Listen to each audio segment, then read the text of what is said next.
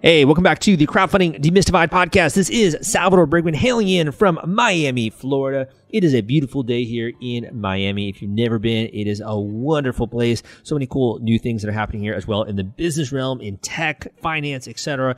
And um, one of the things I want to just say before we get into today's podcast is I commend you so much for showing up for yourself today. Now, what do I mean by that? I mean that when you're doing something new, it is so hard sometimes to actually buckle down and to absorb some quality education and training on that subject. And I, I think I'm the most guilty of someone who just doesn't like doing that. Uh, you know, when I was going, you know, going to school in whether it's high school or college, I just found my classes so freaking boring, man. I wasn't really interested in learning about geometry and stuff that I would never use or trigonometry when I knew I wasn't going to become an engineer. But I just found this stuff so boring. It wasn't very applicable to me. Well, once I started to actually learn about the things that I care about, I realized just how much I love learning. And I knew that when I started this podcast that I wanted it to be a similar experience for you. I didn't want this to be just another boring podcast where people are droning on and on. And um, also something where it's like you're literally listening to a dude lecture at the front of a class. I find that to be so incredibly boring and such a waste of time. I really want to cut straight to the heart, which is exactly why I try to get to the crux of crowdfunding. Huh, you like how I did that? Because my website obviously is crowdcrux.com. I try to demystify this for you, try to pull it apart, try to attack it from many different angles, from many different types of creators around the world. People from many different experience levels. Sometimes it's their first campaign, sometimes it's their 20th campaign. Um, getting into some of the things you should know about when it comes to marketing your project, getting traffic, getting funding. For those creative tapes out there, really, what do you do to get an idea in your head into the real world. So go out there and go and check out some of my other episodes on this particular podcast. If you want to learn the tactics, the strategy, the nuts and bolts, the nuggets of gold when it comes to getting a campaign funded and really driving traffic to it. In addition, uh, if you want to learn more about creativity, I think that today's episode is going to be great for people out there that are struggling to structure their creative work. Now, that could be someone who's creative in many different ways, whether you're a product designer, if you're someone who's trying to create a new artwork or an album, you're trying to create something when it comes to a novel, um, you're trying to publish something online like that, you're trying to even get into YouTube or podcasting or whatever kind of creativity that you're involved with. There's so many, you know, different items under the sun there whatever kind of creativity you're involved with, I'm promising you the number one thing that's holding you back is your ability to organize your work. And this is something that, for myself as a creative person, was one of the most difficult things to swallow because I didn't realize that organization just played such a huge role in effectiveness and being able to take action, to take ideas and to bring them into the real world and to really just execute, right? To get something out there that had not existed before. So if you feel like you struggle with that, I think you're really going to like today's podcast episode because I brought on an expert when it comes to organizational productivity, when it comes to structuring your work, and also some of the easy ways in which you can be more effective in getting a project out there to the world. You're going to hear on today's episode from this individual who is also an author, also a course creator, and really just some of the unique ways in which they've been able to design their life to make turning things that are ideas into real world products or into real world things so much easier and almost down. They boiled it down to a system. So I think you're going to enjoy a lot about that in today's podcast. Without further ado, let's get straight into it. Hey guys, welcome back to the Crowdfunding Demystified podcast. Today we're speaking about creativity, and specifically, I brought on a guest who can help you turn your ideas into physical products and who can really help when it comes to organization of just getting your creativity out there, how to turn your passion into profit. And this is Romina, who's a creative entrepreneur. Romina, welcome to the show. Thank you for having me. Definitely. Um, so I've been looking forward to this conversation, and just so that the guests kind of know, um, maybe you can just kind of tell them a little bit about what you do and how you help creative types, and we can just kind of start there. Sure. I guess the best place to start would be to talk about my own creative journey because I feel like a lot of the things that I talk about really stems from my experience and my past and the struggles that I've had to go through as a creative, being able to figure out how to handle my everyday life with my brain was definitely something that it took a lot of time. And I had to create various systems for myself to make it all work and make it make sense and actually be productive with my creativity. And so I try to bring that to creatives. The number one question that that I always get is how do you do all these things? I get that so often. And it really comes down to creating these systems and having a process um, for myself Yeah. and then sharing that with others. So, in terms of creativity, are you a graphic designer? Are you a videographer? What kind of creative outlets do you have? I have so many. It's so hard to just uh, encompass it into just one. But I feel like the most, the one that I spent the most time in. So I, so I was a, I did work in the film industry for over a decade. So that it that entailed being in front of the camera and behind the camera as well. Uh, so I've been an actor, producer, director, and editor. That's insane. Yeah. um I love movies. I that's like I think that's my my biggest passion is just movies. I love watching movies and I love making movies. And I also write as well. I started writing when I was about 10 years old with uh, poetry and short stories. And so I feel like I kind of express myself in a lot of different ways when Yeah, I say for sure. creative. It's a lot easier to just say creative than one yeah, thing. I mean, there's definitely a lot of lot of things under the sun. So it sounds like your kind of creativity brings you into different mediums. So for you, what do you feel like are some of those struggles that you've had? Is it being able to focus? Is it being able to like go from A to Z with a project? What are some of the struggles you've had? Some of the struggles that I've had have been focus, definitely, is number one. I was diagnosed with ADD at a very early age. And because of that, I was very aware of the way that my brain worked, or, you know, the way that they tell me that my brain worked. Yeah. Um, but I think that it, I think that kind of having an idea of how it worked helped me to figure out what were the pain stakes, what were the things that were really making life difficult for me and making it really difficult for me to get my work done. In part, it's it's not just focus like sitting down and doing the work, but also focus in, for example, being told to niche down is I mean, that is so hard to hear, especially very early on in my creative career. Going out to Hollywood, for example, and trying to pursue an acting career when you're 18 years old, and then having people tell you that you have to go out for a specific type of role or um, this is your personality. yeah. Yeah.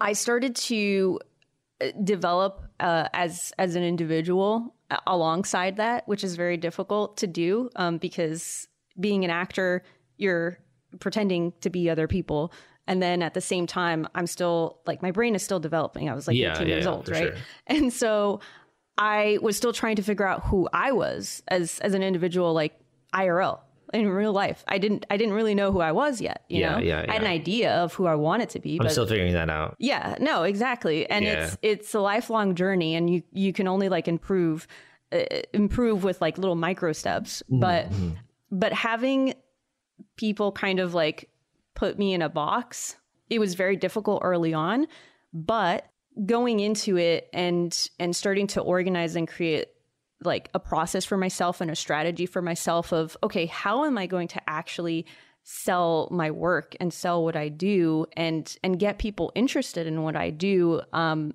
because ultimately if people aren't paying attention then i'm not making the impact that i want to make and so within that being able to learn how to focus and um and figure out What, what, Those so are- just to kind of like dial into that more, like what led to that aha moment? Were you having a moment in time where you're like, gosh, I really need to figure this out? yeah, I had a lot of those. Yeah, I definitely had a lot of those. And I think that acting helped me immensely to get to that point. I also became a producer very early on. So I think that my first production, I was p- producing a feature film when I was 20 years old. And that was a huge undertaking because I still had no idea what I was doing professionally. Yeah. And here I was in charge of about 40 crew members Yeah. and very Big expensive. budget. Yes, equipment. A lot of expectations. locations. Yeah. A lot of opinions. Mhm. Uh, so that was a huge learning experience for me. Mhm. And I think that producing helps me to kind of get to that point. You of- have to be organized. Yeah. Yeah. Incredibly organized and being able to deal with so many different types of people also helps too. You kind of, or at least I learned how to compartmentalize people's opinions and and kind of needs and wants and expectations Yeah. Yeah. and yeah. and and have all these little buckets in order to organize everything to to make it work and make it fit for the overall picture. Mm-hmm, mm-hmm.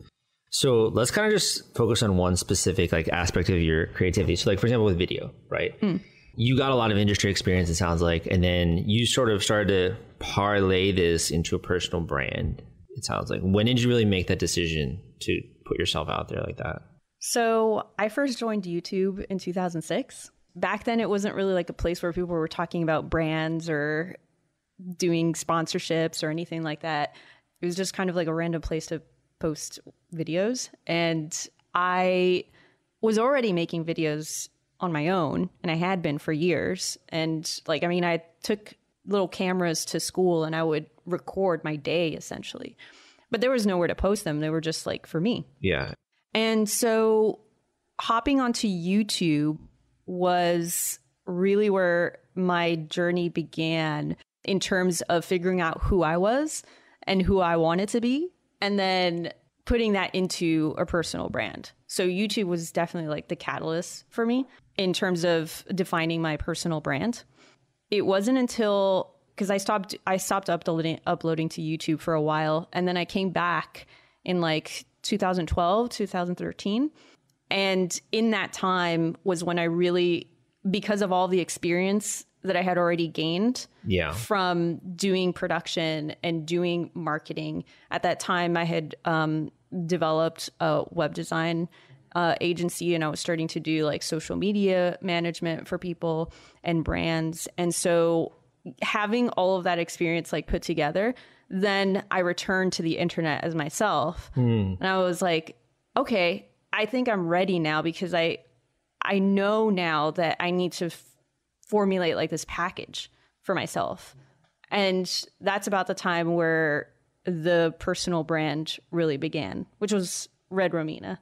And it's just red is my favorite color. So I like red too. Um, so you know, when it comes to that, did you really like sit down at a table and you made a conscious decision that you were going to kind of package this? Like you were going to figure out brand guidelines. You're going to figure out what your story is. Did you like make that kind of conscious decision?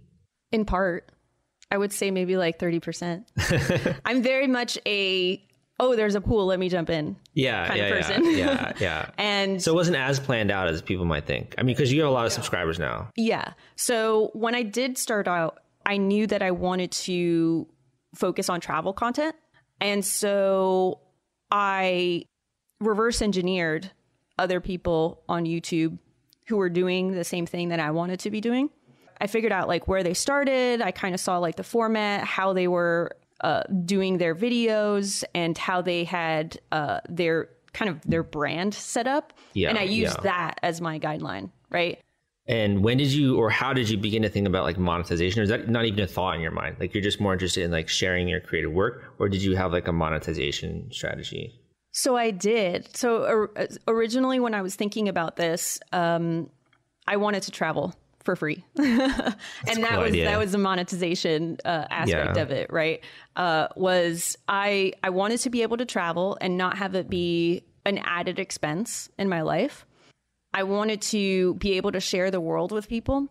I've been traveling since I was like three years old. My mom loves to travel. And so as soon as I was born, my mom was just like, she's going everywhere with us. And so I was on- planes very early on in my life. And so I think that having that love for travel and that experience and realizing that other people hadn't had that same experience and that same life made me want to share that with other people because it was something that was so important to me and I wanted other people to experience it as well. Why is that so important to you? Um, I think it was. I think it's important because it made me think about the way that other people lived their life in other parts of the world, and it was something that I didn't really think about because, again, this is how I grew up.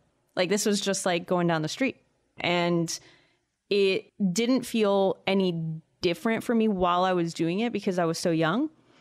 But as I got older, I realized that I had this knowledge of the world that a lot of people my age didn't have. That gave me some perspective and it gave me leverage that other people just didn't have. Yeah, for sure. And I think you're sharing that experience, right? Mm-hmm. Um, which is super cool. So, you know, in just kind of talking with you like informally, I think the one thing that really stood out to me is that you're this incredibly like creative person, right? And it's almost like so inbred into you from just a young age, like, you know, whether it's taking your camera to school or wanting to capture moments and like share things, being able to do like a production crew at a very early age and being charged like all these people, like you're really like well steeped in like creativity. But then you're also super good. I've never seen someone who's so organized in my entire life. Yeah. When did that process really begin when you started to like systematize this? And could you just talk a little bit about like this system that you've made? Oh, absolutely. I think it started at the I think it started in the womb.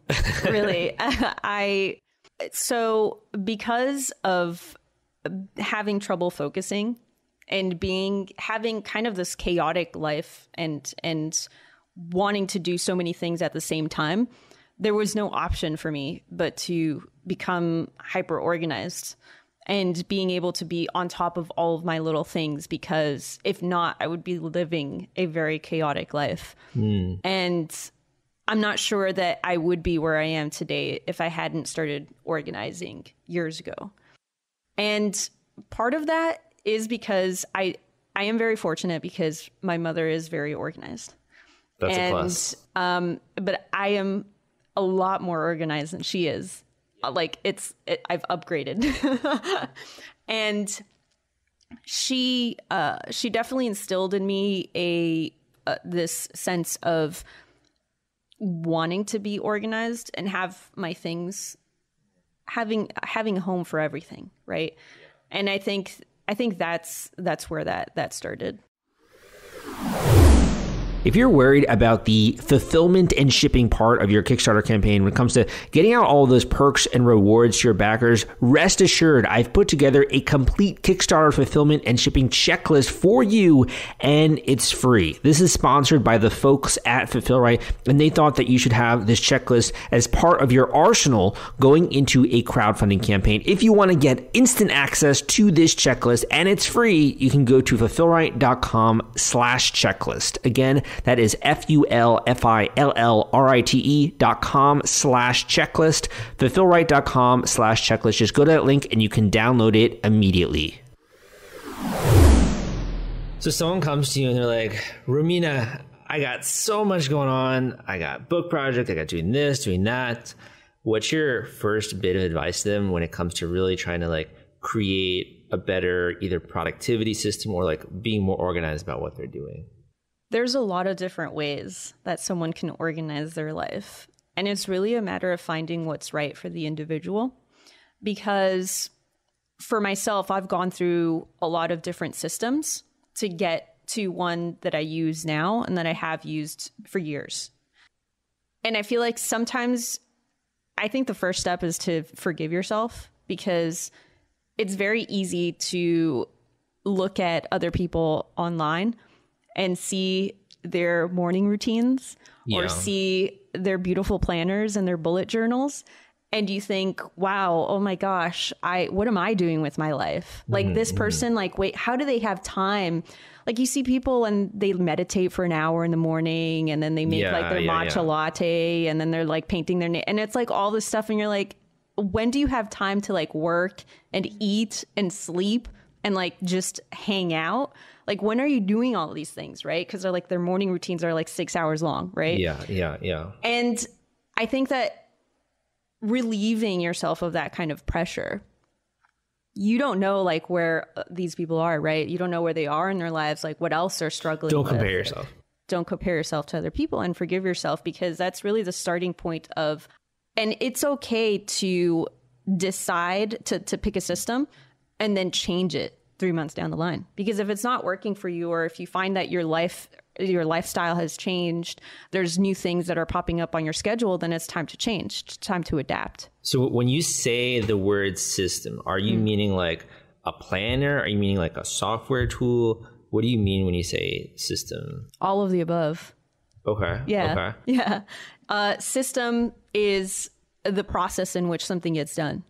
Okay. So whether that is through a planner or software or just like keeping it in your head, which I don't recommend, but that's it's it's whatever is your system. You know, you you come home, you have a place to like throw your keys, you have a place to like throw your jacket, put your shoes. That's a system, right? So it's the same way where it's like you you create these systems of where these things need to go and you revisit them daily or weekly.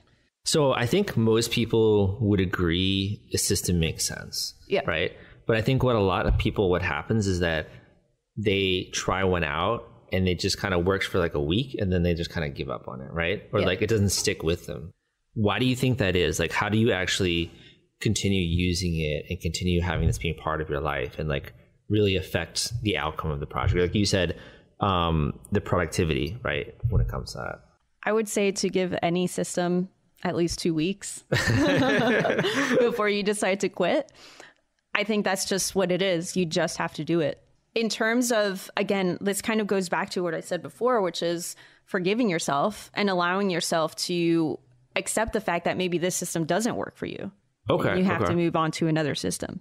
just to be a little bit more like get more into this so from what it sounds like with the one at least you've developed mm. it sounds like there's sort of a time component there's a file component and then like how you're actually spending your time right Yep. would you say that's accurate or am i leaving out any pieces there No, I'd say that's pretty accurate. I do a lot of so to kind of break down, I guess I mean there's a lot of like different systems that fall into like a huge system of how I run everything. But in terms of how I run my day to day, I use the Kanban board system. The Kanban board system is just having columns of the different processes for each task. So it's like to do, doing, done, right? so so just to make it more clear let's let's let's imagine we're writing a new book yep. so how would you like um take that and put that into that example like you're writing a new book what might be some of those examples Yeah. I think that if I think that in writing a new book, I would say that um, using that same system w- works for me. Um, having the Kanban board works. And I think that having like in terms of so developing, you mean? yeah, so like to do items would be like maybe I need to outline it, you're saying, and then like doing is like I'm right now picking a cover and done is like this thing is being completed. Is that kind of how yeah yeah it's it's like so some of the things that need to get done is like outlining um doing research like if you need to do some kind of research like character breakdowns whatever it is to, depending on the type of book like hiring a graphic designer for the cover right? Getting a pr agent or something right? Like these are all like to do items and then as you're doing them you just like move them over to the doing column. And then once they're done, then you move them over to the done column. But I think like what's most important is to pinpoint on the idea of breaking down tasks into even smaller like micro tasks. So like outline my book is like a really big undertaking. That's not something that just happens in a day yeah, right? yeah, I mean, yeah. depending on the book, right? But if we're talking about like, if we're talking specifically about like a nonfiction book, right? And it's going to be like 200 to 300 pages, right? That's not, you don't just put, I need to be a long outline my book, right? Yeah, you don't yeah, put that on your to do list because Yeah. that's going to be there for like a year, right? yeah. So instead, you can break that down to outlining the different chapters that you want to have. So, for example, my book has 10 chapters, right? You just decide what the chapters are, and then you start breaking that down into even smaller tasks of outline chapter one, outline chapter two, etc. right? And just keep breaking that down so that you have like these little tasks that you can do every day that will help you towards accomplishing a much bigger goal down the line. Got it. Got it. Uh, so I think that's a that's a huge overwhelming problem because like I want to start a YouTube channel, just say, then it's like, okay, I got to do this, this, this, and this, and then you're trying to keep track of those things you have to do, and you're trying to do them at the same time. So what you're saying is like list out all the things that you got to do, break them down more specifically, and then start actually attacking those tasks. Yeah. Do you have an idea of how many should be in the I'm currently doing it? Is it just like one you're focusing on, or you can do multiple? So, how I have my day to day set up is I try to not have more than three to five tasks a day. And, Easy life. and that is that really depends on what the actual task is, yeah, right? Yeah. Because I mean, some tasks are just like super quick, and so that means I could go, you know, have like five tasks instead of three. But if these tasks are a lot more um, time consuming or energy consuming, then I'm going to want to have I want to get closer to three but I feel like three is like a good average number that's pretty safe or has been pretty safe for me um, in terms of getting those things done. Because also part of it too is being able to feel rewarded, being able to feel like you're actually mm, accomplishing yeah, stuff. Yeah, yeah. So if you keep putting too many things on your everyday calendar, then you're going to feel overwhelmed and you're going to feel under accomplished because you're not you're not completing, you're not crossing these things off. Okay. So it's kind of almost like future, present, past, mm-hmm. right? So past is like what I completed, present is like what I'm doing right now, and the to do items are like the future, basically. Yeah. So in the present, like let's just say you have those three tasks that you're doing. Are you just sitting at a desk, like your eyes are just like, you know, super focused for like five hours at a time? Or like, how do you break up your time throughout that day? I try to take breaks. I think it depends on again on the task, right? Because yeah. like some tasks are are easier than others, and and it's not the energy is is not as draining. Yeah, but, yeah, yeah. Uh, but I think that uh, it is important to to have those moments of being able to. So when I when I complete a task, I try to move it over to my done side whenever I'm done with it, because then like throughout the day, I'm going through and I'm crossing things off and moving things out of that to do list and so i'm i'm getting that reward immediately yeah um it's like you're eating a whale like one bite at a time. Like, yeah. yeah very slowly. Pretty much yeah. Very cool. Um so first of all i could see that working a lot. Like for any big project you can kind of fit it into that model mm-hmm. right? Mm-hmm. i guess my question is where does the file structure come in? Is that like as you're producing work then you're organizing it according to some kind of a file structure or? Yeah. This this kind of goes back to deciding where everything lives and setting up a system to begin with because as uh, once you have a system that's in place it's a lot easier to maintain it mm-hmm. that first time where you have to set up the system that's the hardest because you have to really figure out where everything goes and if you actually need to keep certain things yeah. And so I have um I have my documents all set up in folders and then within those there's more folders and everything is organized has like an hier- hier- hierarchy for it.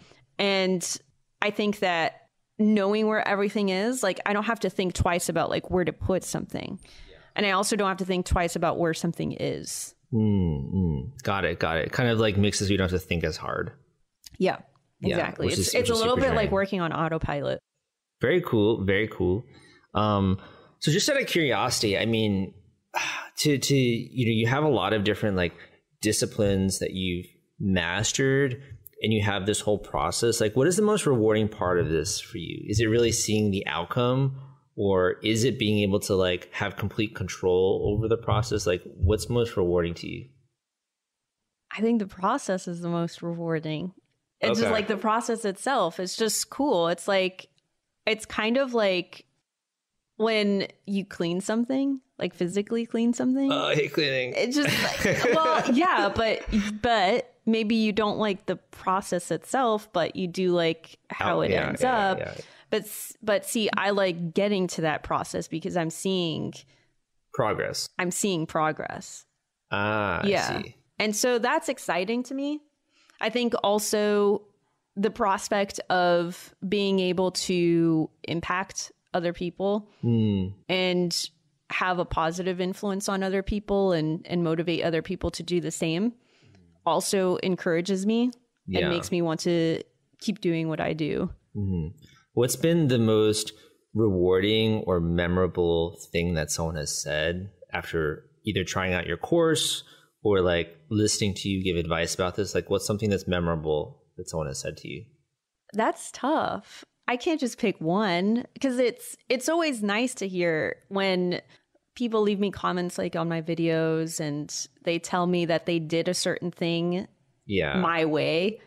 And and and it's it's it's it is a weird kind of concept to like wrap my head around because it's like this is just how I do things and how I've learned to manage my own things. I don't expect other people to apply it to their lives, but it is always fascinating to hear when when somebody has done something the way that I do it just because it worked for them. Yeah, for sure. So, um, I mean, there's there's obviously tons of different like comments that you have. Um, here's like one example. Um, someone who said that after talking with you, that it was so cool to have like all this information in like one tidy presentation, being able to organize photos or even passwords, so many different cool projects that you can use for this. Um, definitely essentials that you need to make your life more efficient. Um, great tips to organize yourself. So people said some very, some really good things about this for sure, Yeah. Which is pretty cool. Yeah, yeah, it is. I mean, it's nice. Um, so I mean, we're coming close to the end of the interview. I guess I have just one or two more questions on like on you and your your creative process. So you do enjoy the process. Do you find that certain work comes more easily to you than other kinds? And do you find that procrastination is something that ever enters your mind? Oh yeah. Well, to answer the last question because that's easy. yeah, procrastination does enter my mind. Um, I some I, I feel that a lot of the times it's it's when I've taken on too much, and it's also kind of a self doubting kind of thing of like well, you know, if I don't actually do the thing, then I don't have to prove Can you that I give an can do example, the you thing. think? Yes, I can actually give an example. So I I'm I'm working on my book now and the last chapter that I was working on, I kept putting it off. And like I kept coming to it. I would write like two sentences and I would be like, "Oh, good for me. Like I did two sentences, you know? Like everybody's like at least, you know, if you write like at least a word, you're moving towards your goal, right?" Um but it didn't feel good because I knew in my back of my mind that I was putting it off for whatever reason. And and part of it is is is because it was the the threshold, it was my goal of like, okay, after I finish this chapter, I'm going to start moving on to the next process of what I have on my list of things for this book. And so there was that kind of like I put the brakes on myself where I was like, wait a second, don't go to the next level yet. You're you're, you're not ready yet. And and and it's that kind of thing that propels the procrastination for me. Yeah. Um because in terms of like do you think it's based in fear, or what do you think it's based in? I think it is. I think part of it is is definitely um is is fear in succeeding. It's um it's fear in okay, I've done this thing, I've accomplished this thing, but now I'm on to this next chapter. I'm I'm into this next level. What is that going to be like? Ups the ante, right? Yeah. yeah. And it so it changes things and it's like, okay, now I have to get ready to like adapt again. Yeah. Um, yeah. because I've already gotten comfortable. Yeah. for sure for sure um i think within my own my own work it's definitely a lot of task switching because i'm like oh i have to get in this other mindset right Yeah. so like if you're doing like creative stuff and you go into sales or you're going from sales to marketing it's like oh i gotta i gotta change my mind get into a different mindset and then i always end up procrastinating obviously Yeah. on, on those kinds of things um very cool where can people go to learn a little bit more about you and some of the stuff that you have put out here. You have different courses, you have different bundles. Where can people go to learn more about this? Uh, probably my website is the best one, which is redromina.com. And I'm also on Twitter. I'm at redromina on Twitter. And I don't know if you can talk about this, but I know you're working on a book. Mm. What is what is that about exactly? So it's a nonfiction book to help people who have really big dreams find the courage in order to do whatever it is that they want to do. That's cool. That's cool. That sounds exciting. Any ideas when that might come out? I am just getting started. cool. Awesome. So I'll be sure to link it up. So um, my final question for you, and you know, you can kind of speak more directly to the listeners. You have, I think, a lot of people who come from different creative backgrounds and they might be at different points in their life. I think we can end on this note. Maybe you can end with either a final quote that you like. It could be a word of encouragement. It could be a final tip. It could be something that you wish that you knew when you were kind of getting started on the journey. Any of those, we can end on that note.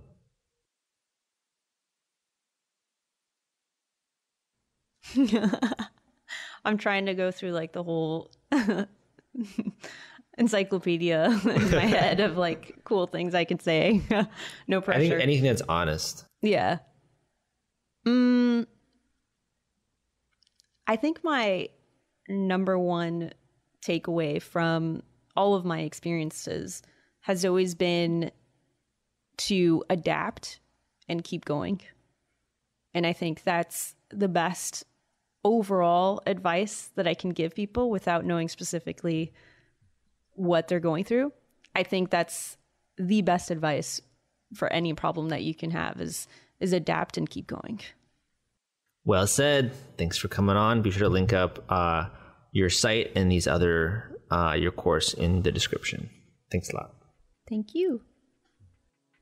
Thank you for listening to this episode of the Crowdfunding Demystified podcast. Again, my name is Salvador Briggman. Hope you took some value away out of today's podcast episode. Uh, this is a bit of a different style of episode. Typically, we bring on individuals who have successfully raised money when it comes to a crowdfunding campaign, but I want to bring on this different style, this different flavor to give you just an assortment of different ways in which you can turn your ideas into reality. You know, how do you turn those things you're dreaming of, you're thinking of, into real world products? Um, how do you take that creativity, really execute on that, and have an end product once you've gone through that entire process? So if you did enjoy today's alternative style of podcast, go to crowdcrux.com, my website, C-R-O-W-D-C-R-U-X.com. Uh, go there, go to the contact form, shoot me an email and be like, Sal, that episode you did was awesome, man. I loved it. It was killer. You got to do more like that occasionally. Um, that would mean so much to me. And I do get, man, I'm telling you, dude, I get my inbox flooded. We got so many inquiries all the time, but I will take some time. If you maybe put something like this episode or just something in the subject line to really catch my attention, I promise I will read your email. Um, just put something in the subject line that will catch my, my name or something like that, right? Get my attention there. Uh, I have to, I have to probably get a cup of coffee late at night and, and just be willing to go through all of the different emails that I've been getting recently. Uh, but I do love you guys. Um, thank you so much for listening to this podcast. Please leave a positive rating and review as well if you're listening on, on iTunes iTunes. And in addition, if you really want to do lock me down, secure my time, you want to go into an intensive coaching call with me when it comes to your product, when it comes to your creativity, really how to take action, how to go through a step by step process so that you can move faster towards your goals, right? When it comes to turning something that's creative and an idea into a real world physical product, or to execute on this doing a crowdfunding campaign, to monetize your passion in many different ways. If you want to talk more about that and really get into your unique case, go to the link I'm about to mention and book a one on one coaching call with me. That link is C-R-O-W-D-C-R-U-X dot com slash coaching, crowdcrux.com slash coaching. That link is crowdcrux.com slash coaching. Go there, fill out a little bit of information about you. What are your goals? Tell me a little bit about um, your backstory, what you've been working on. We'd love to hear a little bit about that. We can get that call scheduled ASAP. Thank you so much for listening to this episode. Hope that you enjoyed it. Take some action this week towards your goals that make me so happy. And I will see you next time.